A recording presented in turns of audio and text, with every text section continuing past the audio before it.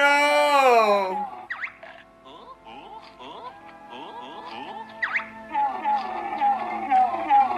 Oh, this is so sad. The passage of time, even.